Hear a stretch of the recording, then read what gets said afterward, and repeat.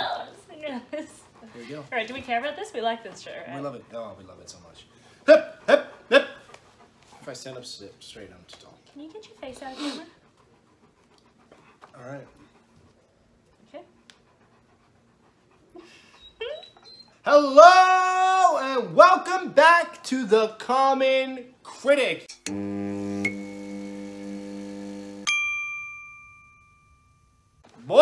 Buenas noches. Me llamo Brandon. My Nana. Yes, I'm taking Spanish again. And we're doing Buy or Sell the Hype. This week on Buy or Sell the Hype, we are reviewing a great show that we both love called Tongue Twister Marvelous Mrs. Maisel. Who gives a toast at her own wedding? I do. We could be downtown people, close to the clubs. I thought you wanted to be a cool chick. I could be a cool chick with a doorman and a Kelvinator Foodorama refrigerator, can't I? Yes, you can. Did you ever think you were supposed to be something, and you, and you suddenly realize you're not? Yes. Married. I was a great wife. I was fun. I 15 years I've been working in clubs, okay? Twice have I seen someone deliver the goods. What are you talking about? Talking about your act. I am a mother. I don't have an act. And you will when we're done. Hi, everybody. This comedy thing, it has to work. I'm gonna count to five. One. That's the end of my show, folks. Tune in next week when my grandmother steals my Three. pearls and fucks my boyfriend. We charge for pictures now. There's something here about miming a whore tickling a man's testicles. Oh, I did do yeah, that. she did. It was fucking funny. So, this is an award winning Amazon Prime original comedy series about a young housewife in the 1950s who has done literally absolutely everything she can to be the perfect housewife um, and mother to her, let's be honest, ungrateful husband. Um, She's and the mother to her husband? mother to her children. I don't know, just the perfect housewife. She's the perfect Anyway, housewife, her, her life flips upside down Mm-hmm. uh, in the first episode, and she basically falls into comedy and gets real raunchy real fast. Bob Newhart's got a set of these at home. Rickles, maybe. Yeah, so she absolutely just fell face first into a profession that I don't think she ever thought that she could possibly have.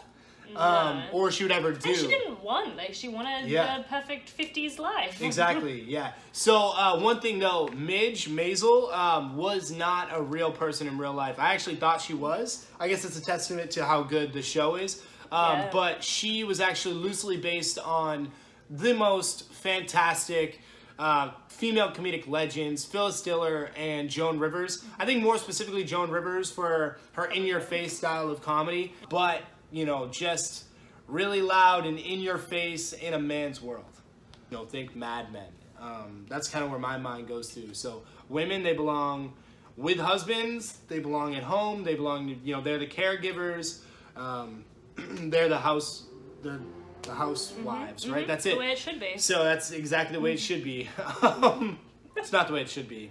Anyway, so she, like she said, she uh, she falls into the comedy world, and she's really, really good at it. Uh, full disclosure. Yep. What was your favorite part of it? Uh, so I think it's pretty easy for me. So my favorite part of the whole thing was um, that Mrs. Maisel, she sticks it to the man. So by that I mean she is a strong female voice in a predominantly male-dominated profession. Let's be honest, it still is, right? Oh, yeah. Like- yeah, it's real hard for women to break through, Yeah. even now. Yeah, and I mean they're typecasted, right? They say a lot of the same stuff, and then that stinks. And and Yeah, and it's also hard to be an attractive female comic. I feel exactly, yeah. all the ones that are big at the moment, they're still self-deprecating about their looks. Mhm. And Whitney Cummings talks about that, right? Like she says, "What am I gonna do? Everyone's looking at me, not not hearing me, right?" Uh, so she's a really good-looking woman, and she goes up there and she absolutely kills it. Yeah. Uh, because she's talking about real life.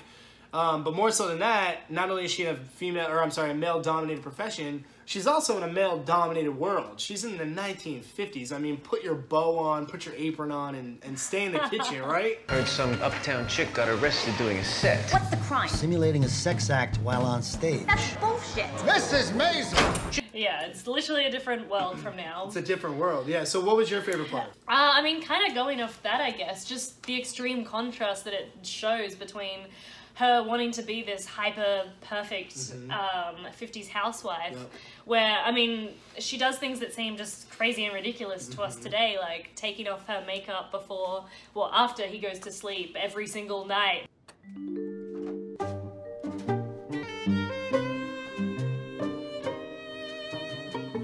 And then waking up early and putting on the makeup before he wakes up. Mm-hmm. putting it all back on, taking So, out the hairpins. so he thinks this is what she looks like.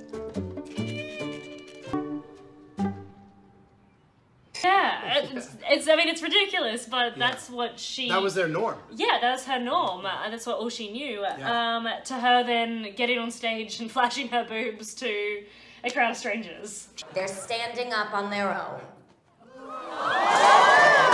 She had a breaking point, and then you almost saw the real her come out.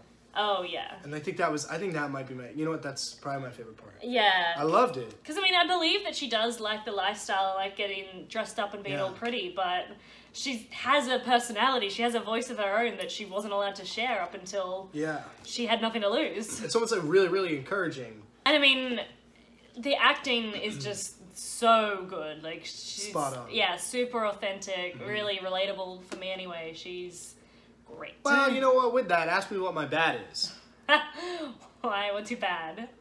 So I agree with everything she just said. I love the characters. I actually think the acting does feel really authentic. Mm-hmm. Like it's Like Jewish everything. families in New York in the fifties, and everything hits the nail on the head. Mm-hmm. The only thing, mm-hmm. maybe it's because I grew up watching Gilmore Girls with like my mom, and maybe that's why I have a bad taste in my mouth for it. But uh, Gilmore Girls has a cult following. Okay, let me get to the point. This was created from the same creator as Gilmore Girls, so she is obviously a genius. Gilmore Girls has a cult following, and more so than anything, she promotes strong female characters. So where's is, the bad? Where's the bad? The banter's the bad. Oh my god! They just like ask me a question.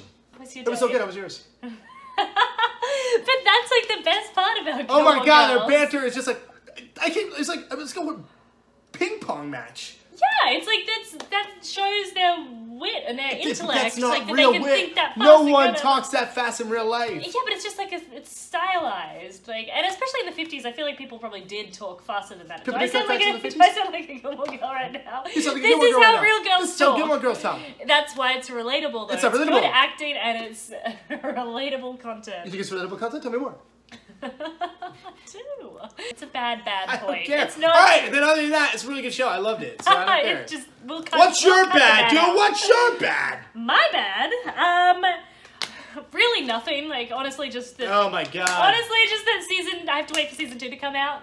But if I were to say something, it would just be the cringe that I feel when watching it because. Because of the banter? no, because this was like an actual period of time. This is what like women went through. So Yeah. when like everything's like all the shit is falling on her and she's the victim, everyone still blames her. Joe left you? Yes. Why? What did you do? Yeah, when it's, crazy. entirely not her fault at all. This isn't my fault. Of course it's your fault. Oh, she, she's in the worst situation and it's Yeah, gotten like beaten today, up. everyone would be like patting her on the back, constantly checking in with her. Then they're like, "Well, what are you gonna do to fix it?" And you know what? We wonder why like people of that generation now look at us and go like, "You guys are so soft," because like people of that generation were like getting shit on by the world, and then the world was after they shit on them was going like, "It's your fault." It isn't fair. It's hard and cruel. anyway, Anyway, so uh, as a millennial, I cringe watching those parts of it. yeah, 'cause, as a sympathetic why? It's so millennial, I.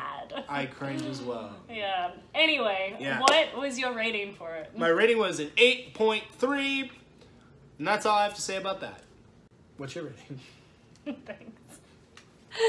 Um, 9.5. Oh, 9.5. It's really, really good. I So if love it. I want Maisel- more. I was I was so excited by the last episode of the season. Like, get excited for Yeah. that. But then you're also gonna like crash down when you realize that's the last episode. It is really, really good. It's really. I mean, it's nominated for the Emmys for a reason. Yeah. So, have you got any advice for Oh, potential viewers? yeah, I have some advice for them.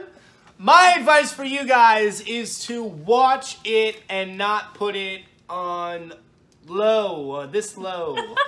Priority list and the watch list. yeah, don't give it what it deserves. Fuck. What? That's me again. Last time. Maybe you just asked me my advice. I think you've had your chance. Fine.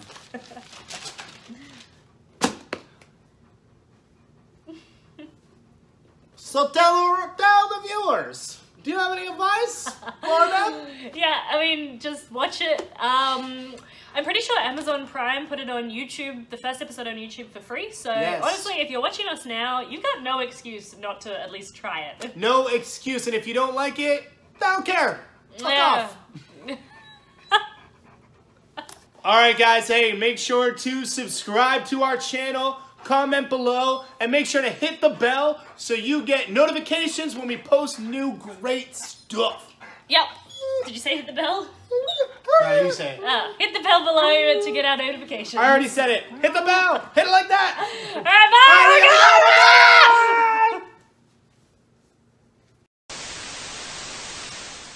Subscribe.